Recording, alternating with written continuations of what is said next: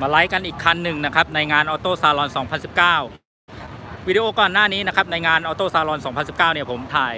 ผมไลฟ์ให้ดู Toyota r e v o นะครับในสเต็ป American style ล้อ 28 นิ้วนะครับแล้วก็มีถ่ายเก็บไว้อีกหลาย ๆ คันนะครับถ่ายรีวิวไว้อีกหลาย ๆ คัน แต่ว่าคันนี้เป็นคันที่ 2 นะครับ ที่จะขอไลฟ์สดให้ดูกันเลยสำหรับ Suzuki Jimny ในเวอร์ชั่นcustom แบบนี้นะครับ คันนี้เป็น Suzuki Jimny One Black b i o t Edition นะครับก็ส่งตรงมาจากญี่ปุ่นเลยมามาถึงที่เมืองไทยน่าจะก่อนงานน่าจะวัน 2 วันก่อนหน้านี้นะครับ เป็นยังไงกันบ้างครับก็เป็น Suzuki นะครับ off-road size เล็กเมื่อตอนเปิดตัวในงานมอเตอร์มอเตอร์โชว์นะฮะมอเตอร์โชว์ 2019 เนี่ย เมื่อช่วงเดือนมีนาคมเนี่ยก็สร้างความฮือฮาไปรอบหนึ่งแล้ว กับราคานะครับ สร้างความฮากับราคา ตอนนั้นรู้สึกผมจำไม่ล้านหกนะฮะหนึ่งหกเก้าเก้าหรือเปล่าไม่แน่ใจแต่ประมาณล้านหกนี่แหละฮะครับก็ไม่รู้ว่าถ้าเป็นเวอร์ชั่นแต่งพิเศษ custom แบบนี้ส่งตรงจากญี่ปุ่นเนี่ย น่าจะทะลุ 2 ล้านนะครับ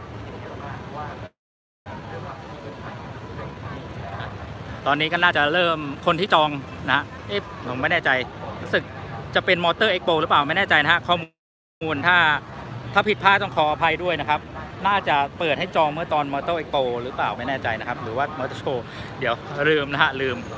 นะฮะเอาเป็นว่าตอนนี้ก็เห็นนะฮะน่าจะเริ่มทยอยส่งรถแล้ว ใครที่จองไว้ก็น่าจะได้สัมผัสตัวเป็นๆกับ Suzuki Jimny Generation ที่ 4 รุ่นนี้แล้วนะครับ โอ้น่าอิจฉามากนะครับ เป็นรถออฟโรดไซส์เล็กที่น่าขับมาก แต่ราคาค่าตัวก็ไม่เบาเลยนะฮะ คันนี้เห็นทางผู้จัดงานบอกว่าเป็นรถเด่นในงานอีก รุ่นหนึ่งเลยอีกคันหนึ่งเลยนะครับเป็นเรียกว่าเป็นตัวเอกนะฮะเป็นตัวเอกอีกคันหนึ่งในงานนี้นะครับในงานออโต้ซาลอน 2019 คันนี้เป็นฝีมือการตกแต่งจากสำนักจาก2สำนักนะครับก็คือ e n s t a t e นะครับกับ w a n International นะครับทั้งสองทั้งสองสำนักก็ร่วมมือกันในการยกสูงนะครับคันนี้ยกสูงขึ้นมา 3 นิ้ว และใส่ชุดแต่งรอบคันนะครับ ก็จะมีนะฮะเดี๋ยวผมถ่ายให้ดูไปตั้งแต่กระจังหน้าและกันชนหน้าเนี่ยเป็น ตัวคัสตอมขึ้นมาแล้วนะครับ ไม่ใช่ของเดิมนะครับนะก็จะเป็นทรงแบบนี้เลย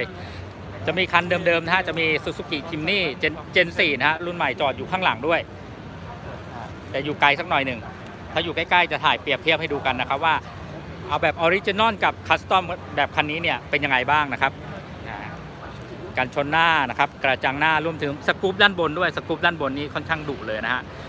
จาก off-road size เล็ก ๆ แบบ Jimny พอมีสกู๊ปตัวนี้นะฮะ ก็ดูดุดันขึ้นเลย แล้วก็จะมีไฟตัวนี้ด้วยนี่นะครับ ไม่แน่ใจเป็นสปอร์ตไลท์หรือว่าเป็นแค่ไฟส่องสว่างช่วยส่องสว่างเท่านั้นนะครับ ไม่แน่ใจนะฮะแต่ดูแต่ดูสวยดีนะครับ อันนี้เป็นด้านหน้านะครับ ในส่วนของกันชนนะกันชนที่เขา custom ขึ้นมาครับ Black Bison นะครับ ก็จะเป็นโทนสีนะครับเป็นโดยก็จะมีนะฮะตรงส่วนหลักนี่ก็จะเป็นออกสีดำด้านนะครับ แล้วก็จะมีดำเงาตัดกับสีแดงเป็นกรอบของ LED ตรงนี้ด้วยนะฮะตรงมุมด้านข้างตรงนี้ครับแล้วก็มีชายล่างเป็นเป็นดำเงาอีกจุดหนึ่งดำเงานี้ก็จะไล่ขึ้นมาเลยนะฮะตั้งแต่ชายด้านล่างของกันชนหน้าต่อเนื่องไปจนถึงซุ้มล้อนี่เลยนะฮะ โป่งล้อนี่ก็เป็นส่วนของส่วนที่คัสตอมขึ้นมาด้วยเหมือนกันนะครับโป่งล้อทั้งด้านหน้าและด้านหลังเท่ากันนะครับ ขนาดไซส์เท่ากัน ด้านบนตรงรด้านบนนั้นนะครับ ก็จะเป็นสปอยเลอร์หลังคา มีทั้งส่วนหน้าและส่วนหลังเนี่ยเขาบอกว่าเป็นทรงปีกนกนะครับ สปอยเลอร์หลังคาตรงนี้นะฮะ ด้านหน้าก็จะมาพร้อมกับ LED ทั้งสองข้าง แล้วมาในลุคคือเพิ่มความดุดันให้กับตัวรถนะครับ มีโป่งมีสกู๊ปหน้ากระจังหน้ากันชนนะฮะดีไซน์ใหม่แล้วเนี่ย แล้วมาในโทนสีขึมๆแบบนี้นะครับ ผมว่าสวยมากเลยนะฮะโทนสีเทาโทนสีเทาเข้มๆประมาณนี้นะฮะนี่มุมมองด้านข้างนะครับ ตอนนี้ยกขึ้นมา 3 นิ้วนะครับ ตัวรถยก 3 นิ้ว เป็นล้อเป็นล้ออลอยดีไซน์ใหม่ด้วยนะครับ เป็นล้อวานนะครับ เป็นล้อ model concept ของ Wald นะครับ ขนาด 15 นิ้ว ส่วนยางก็เป็นยาง Toyo 31 นิ้วนะครับโอ้คันนี้ถูกล้อมกรอบไว้อย่างดีเลยนะครับ ไม่ให้ใครเรียกว่ากันไม่ให้ใครเข้าไปสัมผัสตัวรถได้เลยนะฮะ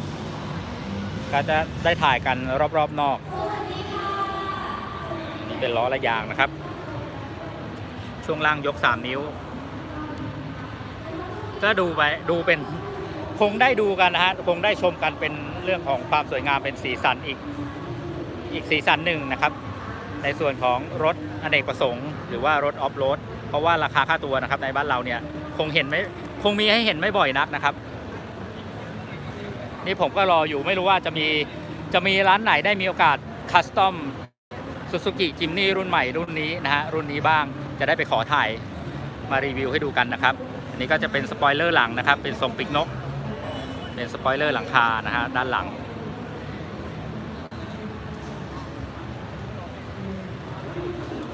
ก็ทรงรับกันนะครับ ด้านหน้ากับด้านหลัง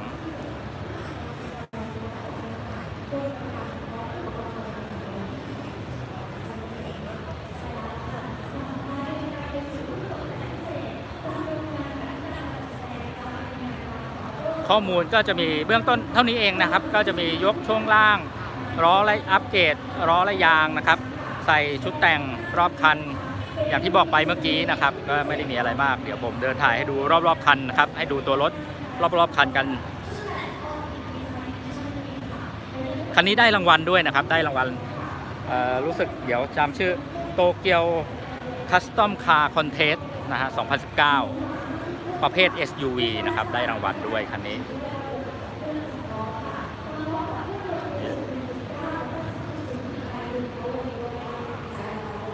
มันน่าขับมากนะครับ ถ้าราคาย่อมเยาวกว่านี้สักนิดนึงนะผมว่าโอ้โหมันเป็นรถที่น่าสนใจมาก ระหว่างนี้ถ้าใครชอบ feel ประมาณนี้ก็หา Suzuki Caribbean นะครับ หรือไม่ก็ Suzuki Jimny Gen 2นะครับ ซึ่งเห็นบ่อยๆ ในบ้านเราหาไม่ยากมากราคาไม่แรงมากนะครับ ประมาณ 2,500ถึง3,500แล้วแต่สภาพนะครับ หรือไม่ถ้าอยากได้รถใหม่ๆหน่อย สภาพใหม่ๆหน่อย อยากได้ feel ประมาณนี้ก็ Suzuki Jimny Gen 3นะครับก็ยังพอยังพอหาได้อยู่ ยังพอให้ยังพอมีให้เห็นอยู่บ้างนะครับ แต่ผมว่าพอเห็น Gen 4แล้วก็ไม่อยากขับ Gen 3นะครับ Gen 3นี่ดูไม่ค่อย ไม่ค่อยคลิกเท่าไหร่นะครับ ถ้าขับ Gen 3 ย้อนไปเลยดีกว่า ย้อนไปเป็นคาริเบียนหรือ Jimny Gen 2 ไปเลย น่าจะถูกใจกว่านะครับ ดูคลาสสิกหน่อย แล้วก็มีอะไรให้เล่นเยอะกว่านะครับ ใน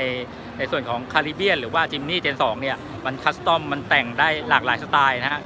มันสนุกกับการเล่นมากกว่านะครับ ส่วนเจน3เนี่ยอาจจะขับก็อาจจะเปลี่ยนล้อเปลี่ยนยางอะไรเท่านั้นเองนะครับ อาจจะไม่สนุกนะฮะครับนี่ก็เป็น Suzuki Jimny นะครับวาน Black b i o t Edition ที่เอามาโชว์ในงานออโต้ซาลอน 2019 นะครับ ก็เดินรอบคันพอดีน่าจะได้เห็นกันครบถ้วนรอบๆคันแล้วนะครับ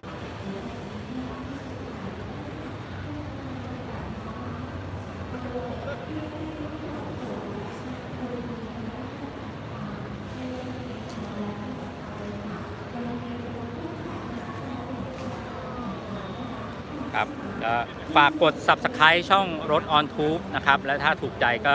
อย่าลืมกดไลค์และกดแชร์ด้วยนะครับ ขอบคุณครับ สวัสดีครับ